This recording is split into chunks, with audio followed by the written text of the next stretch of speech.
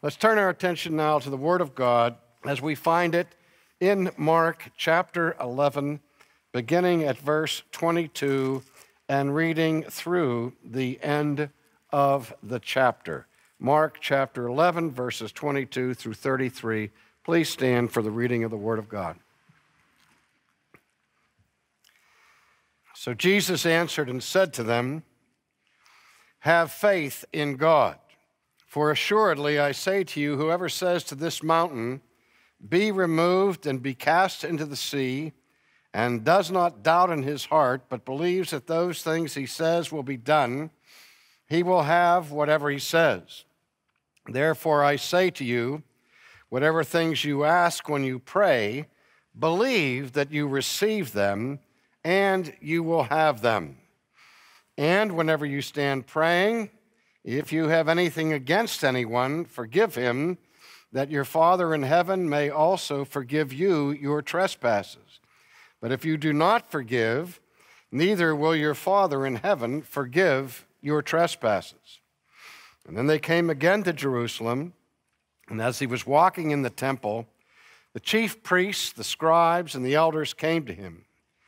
And they said to him, By what authority are you doing these things? And who gave you the authority to do these things? Jesus answered and said to them, I will ask you one question, then answer me, and I will tell you by what authority I do these things. The baptism of John, was it from heaven or from men? Answer me. And they reasoned among themselves, saying, If we say from heaven, he will say, Why then didn't you believe him? But if we say for men, they feared the people, for all counted John to have been a prophet indeed. So they answered and said to Jesus, We do not know. And Jesus answered and said to them, Neither will I tell you by what authority I do these things. Are we blessed to have for our hearing each Sabbath day the veritable Word of God from heaven. That as our Lord Himself said of it, Thy Word, O God, is truth. Please be seated. Let us pray. Again, our Father, as we give heed to your word, we pray that we may hear it, to hear it in its fullness, that we so digest it, and embrace it, that we become doers of it and not hearers only. For we ask it in Jesus' name and for his sake. Amen. Last week, if you recall, we looked at the cursing of the fig tree and Jesus' cleansing of the temple in Jerusalem, and we considered the parallel between the fig tree and the temple, that both, in fact, on the outside claim to be fruitful and productive, but in fact were barren. The fig tree of figs, the temple of godliness. And immediately after the disciples see that the fig tree had withered to its roots, Jesus responds to their questions as we read in verse 22, Jesus answered and said to them, Have faith in God. This is an imperative, a command from our Lord to his disciples and by extension towards us. Let me just comment at the outset to put our trust in God is not a religious option that we choose to do in order to be spiritual or to have some kind of personal relationship with Jesus. Trusting God is the obligation of every creature made in his image. It is a moral and ethical command as well as a spiritual duty because not to trust God is to impugn the integrity of his word, his promises, and his character. What possible justification could there be that any creature of an eternal, omnipotent God would have the audacity not to trust the word of their Creator.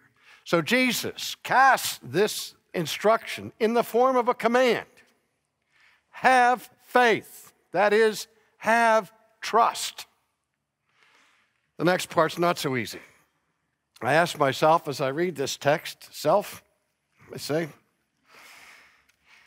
why did Jesus at this point, after the cursing of the fig tree and the cleansing of the temple, give this imperative, give this command to his disciples? What's the connection here? Why did he say, have faith? Well, maybe the answer is found in what follows when he said, I say to you, whoever says to this mountain, be removed and be cast into the sea, and does not doubt in his heart, but believes that those things he says will be done, he will have whatever he says. Now, one possible reason for the connection here is this that the disciples are amazed at the power of Jesus to speak to a fig tree and as a result of that negative admonishment, the fig tree withers and dies. And maybe they're saying to Jesus, What kind of power is that? And maybe Jesus is saying here, Well, it's the power of faith. If you think that it's something that I can say to a fig tree that no one shall ever eat of it again and it withers and dies, let me tell you that if you really have genuine faith, you can say to this mountain, Be moved and cast into the middle of the sea, and it will happen. And so perhaps what Jesus is trying to instruct his disciples in at this point is the relationship between faith and power. And I'll explore that a bit in a moment. But there is another possibility to explain why Jesus gives this command to have faith immediately after the episodes of the tree and the temple. That the problem with the fig tree, dear friends, and the problem with the temple was a problem of infidelity, of faithlessness. The temple, which was supposed to be God's tabernacle, where people focused their faith and trust in him, had become a den of thieves. And it became a monument, dear friends, not to fidelity, but to unbelief. And in nature, the fig tree that was to be obedient to its creator, to bear figs in season when it had the blossoms in their fullness, it also failed in its faithfulness to its creator. And so it could be the faithlessness of the tree, the faithlessness of the people in the temple that provoked Jesus to this command. It may be something altogether that I haven't thought about, but I believe it's one of these two things.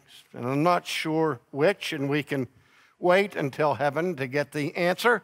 But either one would have sound biblical application to our lives today. Now, what is also problematic about this text is when Jesus said, If a person says to the mountain, Be removed and be cast into the sea, does not doubt in his heart, but believes that those things he says will be done, he will have whatever he says.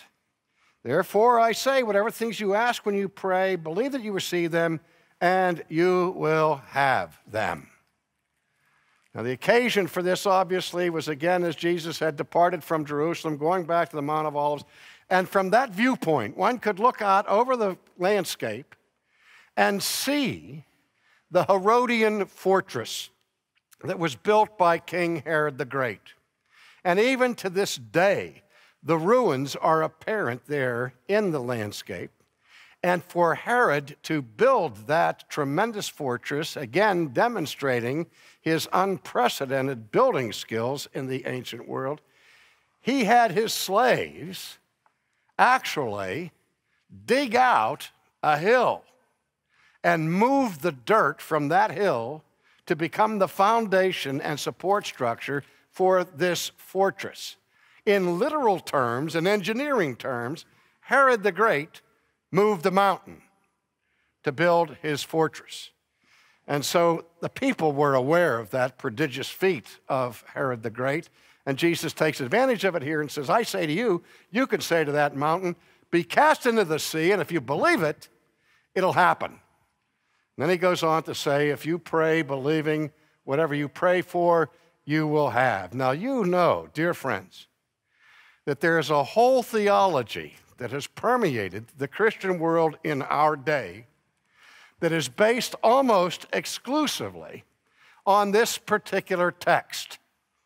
The Word of Faith movement in our day and the movement that teaches what we call name it and claim it, or some forms of faith healing say, all you have to do to change the external world around you is to believe it, claim it, and it will be so. Now, it's not surprising to me, dear friends, that this kind of movement has emerged at a time in our culture where the New Age movement at the same time has permeated the secular world.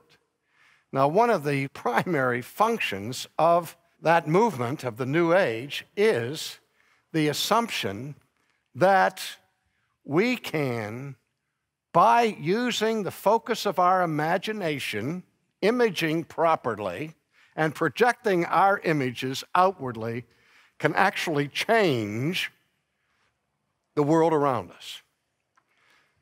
Visualize world peace. That's all you have to do is sort of focus on world peace, and we're going to get world peace. My favorite uh, parody of that is the statement visualize world, W H I R L E D, peas, P E A S. And if you look at that long enough, you're going to see peas flying around in a uh, cycle. What is at the root of New Age?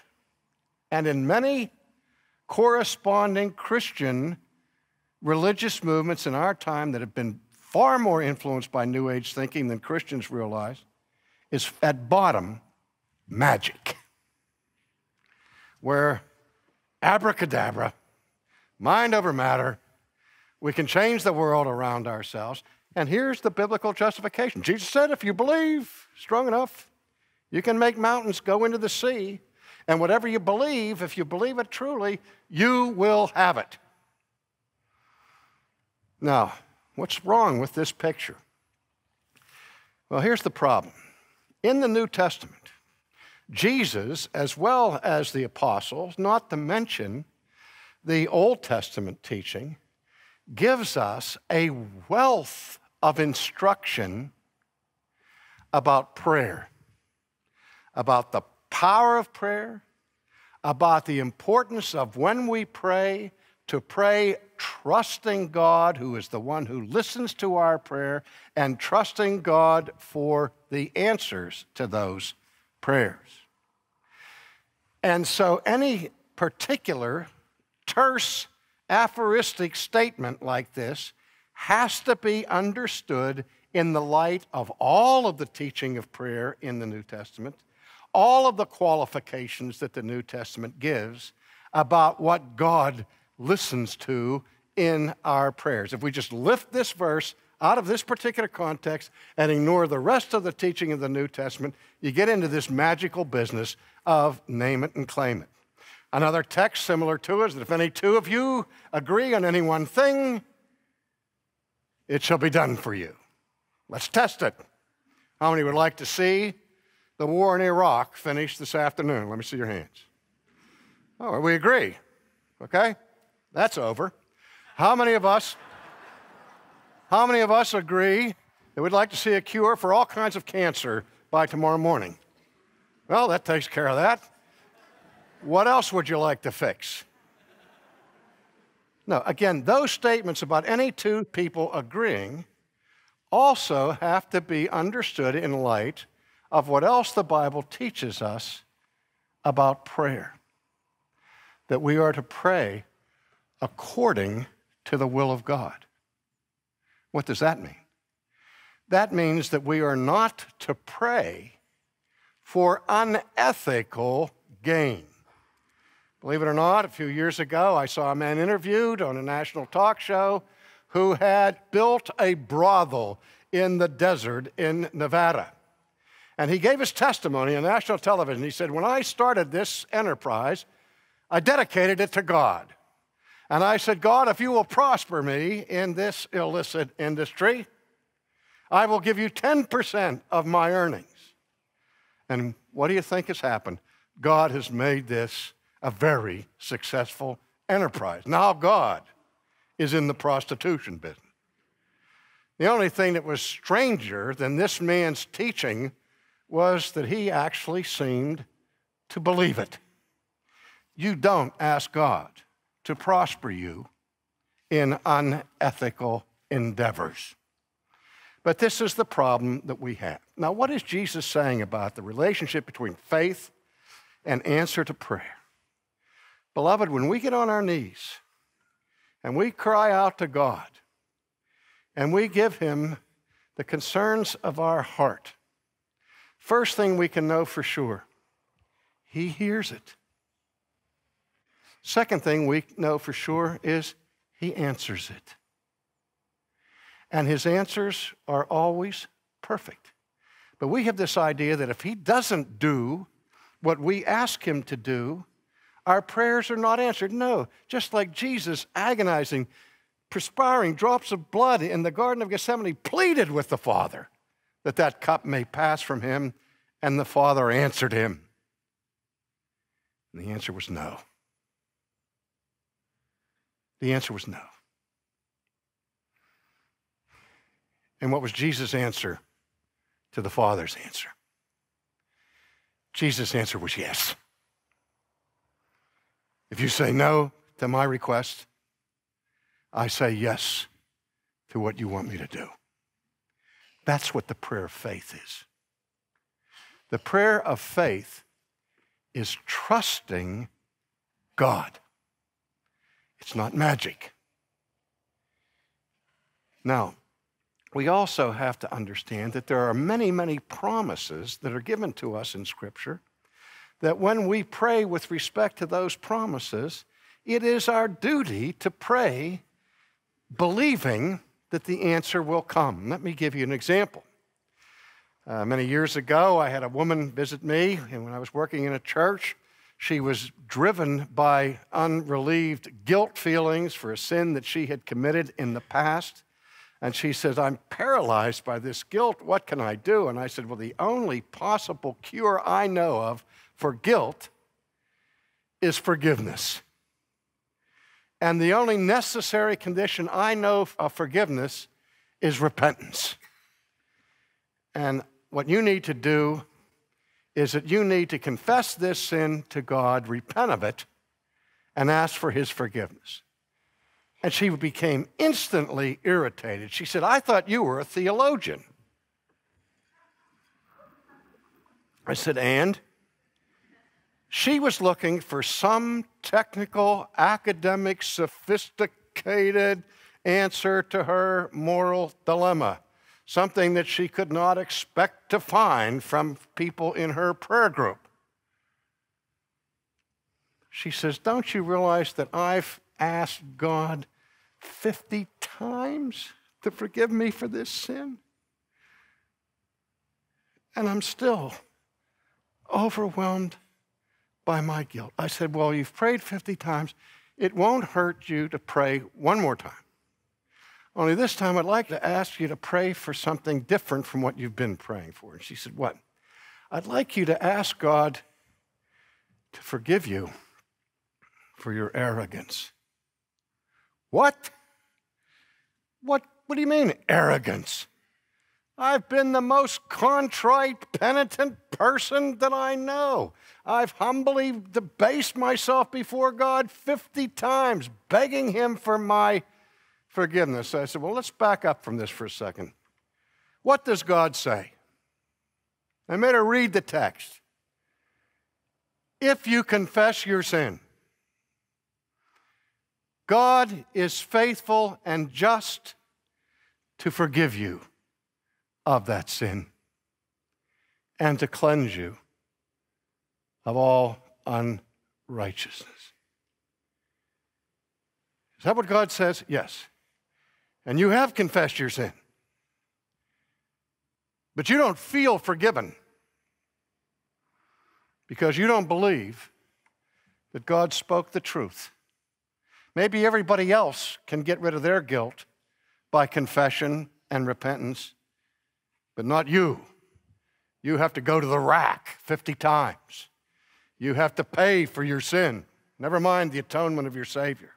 Don't you see how arrogant that is to think that you require something more than the forgiving grace of God? That's what I'm talking about praying in faith. If God says, if you do A and I will do this, if you confess your sins, I will forgive you your sins, then you trust God and you confess your sins. There's no reason for anybody in this room to be going through life paralyzed by unrelieved guilt.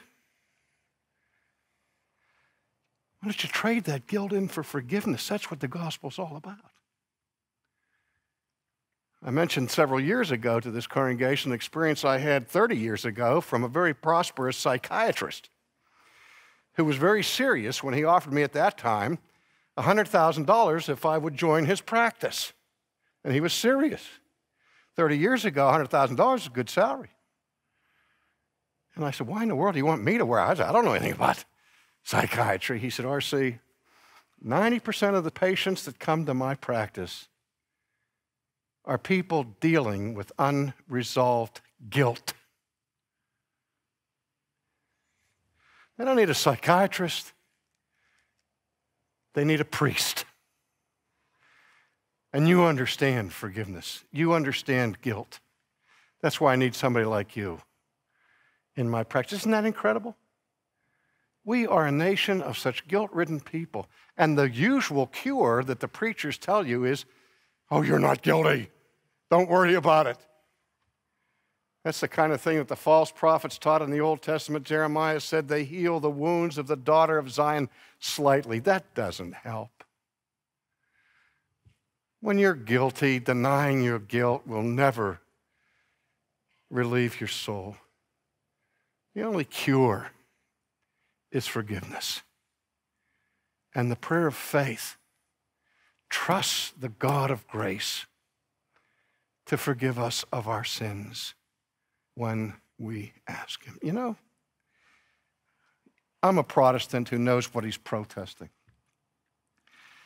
When Luther, at the time of the Reformation, left the Roman Catholic Church, he got rid of the sacrament of penance, but he didn't get rid of the confessional. You know why?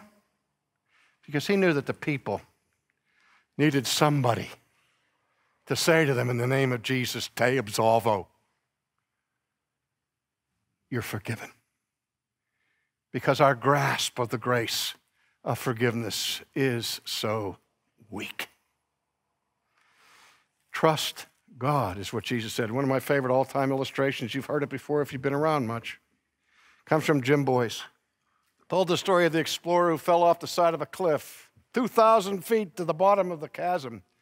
And as he started to fall, he reached out and he grabbed a, slender twig that was coming out of the side of the mountain and he held on to it, and the roots were starting to pull free from the earth. And in his desperation, he screamed to heaven, saying, Is there anybody up there who can help me? And then this voice came from heaven Yes, I can help you. Trust me. Let go of the branch. The man looked down again into the abyss, looked back up to heaven, and said, Is there anybody else up there?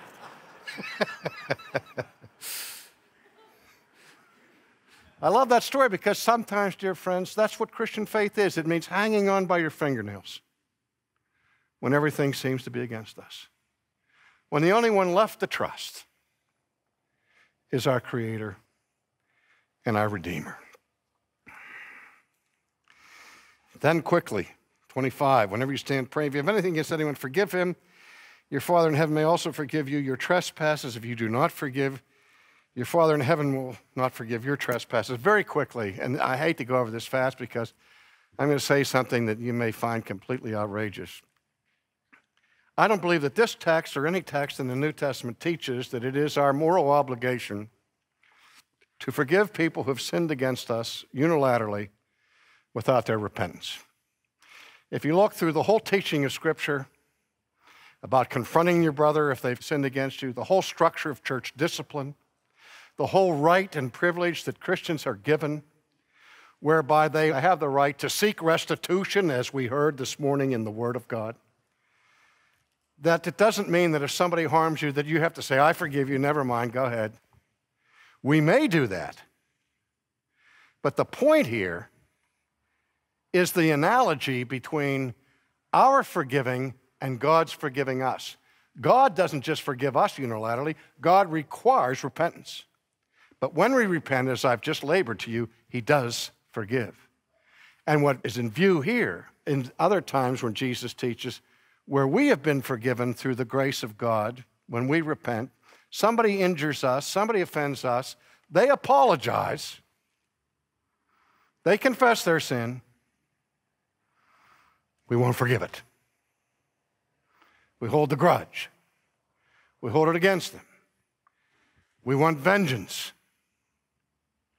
If that's our spirit, that's what we can expect from God. The point that Jesus makes, if you look at the whole teaching of forgiveness and repentance here, is that every Christian is to be standing ready at any moment to forgive fully and finally any offense, real or imagined, against us if the person who have violated us repents. All right, quickly on to the final part of this passage where we see this attempted trap of Jesus by the scribes and the elders. They came to him asking him about authority. By what authority do you do these things? Who gave you this authority? Now, this was a point throughout Jesus' ministry, and throughout Jesus' ministry, he had to tell those who were around him, I speak nothing on my own authority. However, all authority on heaven and earth has been given to me. Now, this is not just a question for first century scribes or Pharisees. It's the supreme question that the unbeliever faces today, and you may be in that position this morning. You may not yet have submitted your will to Christ. You have not yet bent the knee. You have not yet fallen on your face before Him and embraced Him as your Savior and your Lord because you doubt His authority. You're thinking in your heart, who is Jesus to tell me what to do? Who is this preacher? Nobody. Who is that Christian? Nobody. But who is Jesus to command you? By what authority? Does he command you to repent of your sins and come to him? By the authority that is given to him by God himself. But then the Pharisees and Sadducees try to trap him and they say, you know, by what authority? So Jesus cleverly answers them. He said, I'll ask you a question. You answer me, and then I'll tell you by what authority I do these things. The baptism of John, let's take that for example. Was it from heaven or was it from men? Well, Jesus was smart, wasn't he? As the text tells us, he caught them right now. Because if they say it was from heaven, Jesus going to say yes. So why don't you believe him? Why don't you believe him when he testified of me? And if they say, oh no, it was from men, then now they are going to be at the mercy of the crowds because if anything was a given in Israel at this time, it was the widespread conviction that John the Baptist was a prophet sent by God. So, you know how they answered that question? They lied. They said, we don't know. Well, Jesus could have said, Yes, you do know. You know very well that he was a prophet. And so Jesus didn't say, Well, I don't know where my authority comes. He didn't give him the same kind. He just said, I'm not going to tell you. Neither will I tell you. Since you refuse to answer my question, I'm not going to answer yours. And that was the end of that discussion. Tie it all together faith, prayer, forgiveness, the authority of Christ. This is a summary of the Christian life. Let's pray. Father, we thank you for the truth of these things. Make us your people who trust you, who stand ready at every moment to forgive those who offend us, to be charitable, to be people of grace, even as we have been treated with your grace. We ask that you would do these things in our lives for the sake of and through the authority of Jesus. Amen.